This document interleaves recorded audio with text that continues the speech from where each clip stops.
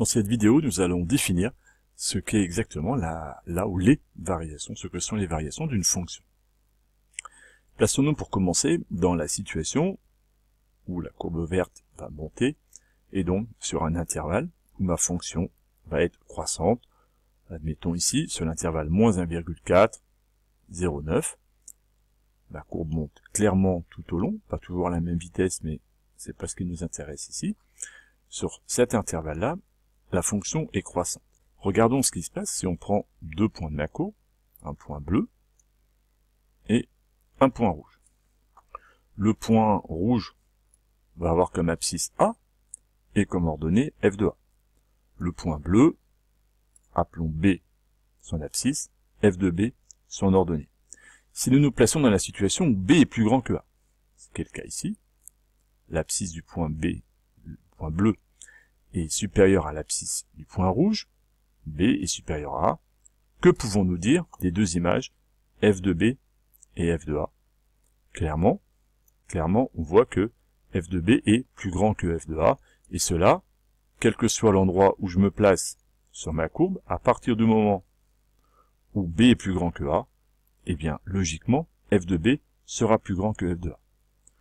On observe que lorsque ma fonction est croissante sur un intervalle, eh bien, les images, f de B et f de A, vont être rangées dans le même ordre que les antécédents B et A. Cette propriété-là va être en fait la définition rigoureuse et stricte de ce qu'est une fonction croissante. Donc on va retenir cette définition qui va dire qu'on considère une fonction f définie sur un intervalle d on dit que f est croissante sur cet intervalle-là, et on se rappelle bien qu'on parlera toujours de fonction croissante ou décroissante sur un certain intervalle. On dit que f est croissante sur un intervalle d si, pour tous les réels a et b de cet intervalle d, alors, si a est inférieur ou égal à b, alors f de a est inférieur ou égal à f de b. C'est exactement ce que nous avons vu sur la figure. Ici, dès que a est plus petit que b, f de a est plus petit que f de b, si on a ça systématiquement sur tout l'intervalle, pour tous les A, tous les B qui existent, alors forcément, la fonction est croissante. J'attire votre attention sur cette partie-là de la définition. On nous dit bien que cela doit être vérifié pour tous les réels A et B de mon intervalle. Si je me place dans cette situation-ci, j'ai bien une situation où, pour un B plus grand que A, f de B est plus grand que f de A, B plus grand que f de B plus grand que f de A, je ne peux certainement pas déduire à partir de ce constat que ma fonction est croissante sur tout l'intervalle AB et la courbe nous montre bien que ce n'est pas le cas. Il ne s'agit pas donc de dire à partir d'un couple A et B, si B plus grand que A et que f de B plus grand que f de A, alors ma fonction est croissante. La définition ne dit pas cela. La définition dit, est-ce que cela est vrai pour tous les réels entre A et B? Et on voit bien ici que si je me plaçais là ici, eh bien, B est plus grand que A, mais f de A n'est pas plus grand que, est plus grand que f de B, donc là, la hiérarchie n'est pas respectée. Donc sur l'intervalle ici considéré, la fonction n'est pas croissante.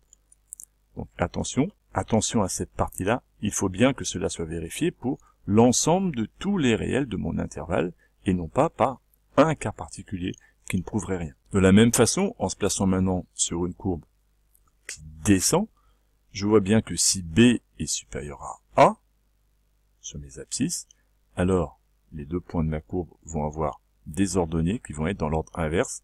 f de B va être plus petit que f de A. A inférieur à B pour tous mes réels A et B de mon intervalle implique f de B inférieur à f de A. Alors, ma fonction est décroissante sur l'intervalle. Et donc voici la définition écrite rigoureusement. On dira que f est décroissante sur un intervalle D si pour tout réel A et B de l'intervalle D. Alors, a inférieur ou égal à b implique f de a supérieur ou égal à f de b. On voit bien que là, l'ordre est inversé. On peut donc retenir que quand une fonction est croissante sur un intervalle, les antécédents et les images sont rangés dans le même ordre, et quand une fonction est décroissante sur un intervalle, les antécédents et les images sont rangés dans l'ordre inverse.